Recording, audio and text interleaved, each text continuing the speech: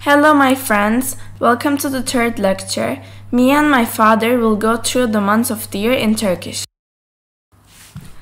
On the top of the video, you will see the month of the year in Turkish with lower and uppercase. On the right hand side, you will see the English word for the corresponding month of the year. January means Ocak in Turkish. Ocak. Ocak. Please repeat after me. Ocak. February means Şubat in Turkish. Şubat. Şubat. Please repeat after me. Şubat. March means Mart in Turkish. Mart. Mart. Please repeat after me. Mart. April means Nisan in Turkish. Nisan. Nisan. Please repeat after me. Nisan. May means Mayıs in Turkish. Mayıs. Mayıs. Please repeat after me. Mayıs. June means Haziran in Turkish. Haziran. Haziran. Please repeat after me. Haziran. July means Temmuz in Turkish. Temmuz. Temmuz. Please repeat after me. Temmuz. August means Ağustos in Turkish. Ağustos. Ağustos. Please repeat after me. Ağustos. September means Eylül in Turkish. Eylül. Eylül. Please repeat after me. Eylül.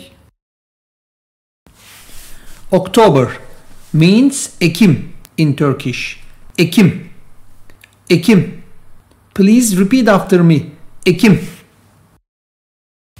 November means Kasım in Turkish.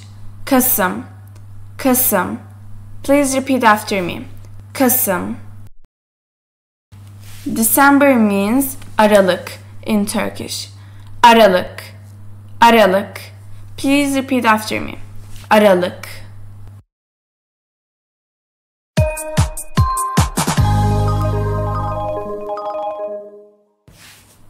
Now we are going to review. Please try to remember the months of the year in Turkish.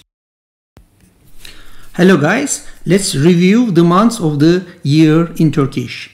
January. What was the Turkish word for January? Yes, good job. Ocak. Ocak. Repeat after me, please. Ocak. Good job. What was the February? Do you remember? Yes, Şubat. Şubat. Let's review after me. Şubat. The third month of the year, March. What was it in Turkish? Mart. Mart. Please repeat after me. Mart. Congratulations, we are doing great. Thank you. Let's go. Do you remember what was the word we used for April in Turkish? Nisan. Nisan. Please repeat after me. Nisan. Good job.